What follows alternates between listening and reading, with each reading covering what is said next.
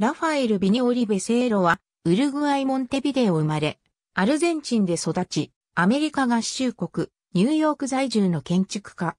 映画、劇場演出家の父と、数学教師の母の間に生まれる。ブエノスアイレス大学で、1968年に、建築の学位と1969年には、建築、都市計画学部で修士を修了。1964年に6人の仲間と建築設計事務所を設立。この事務所は後に短期間に多くの目立った仕事をこなす南米で最大の建築事務所となった。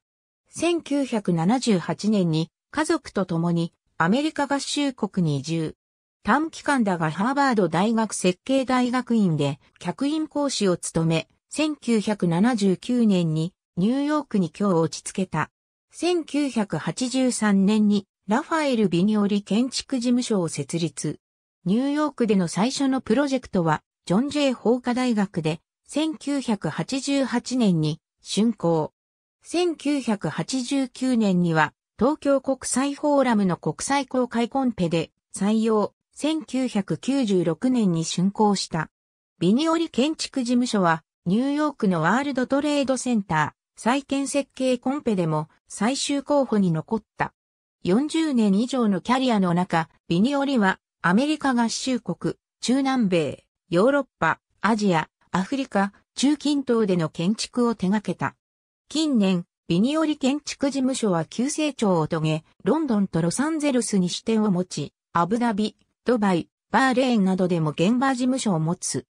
ビニオリ設計で2010年に建築されたラスベガスのホテルにおいて、ホテルの一面が凹面をしているため、その面のガラスで反射された光が、プール周辺に集まり高温になる事件が報じられた。2013年ロンドンでも、ビニオリ設計のビルで、同じように凹面のガラスの反射で駐車中の車が溶ける事件が報じられた。ビニオリは、アメリカ建築学会フェロー、王立英国建築家協会国際フェロー、日本建築家協会会員、アルゼンチン建築家協会会員である。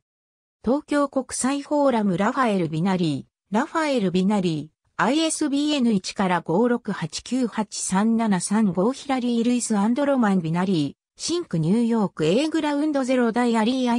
ISBN192 744から74から6。ありがとうございます。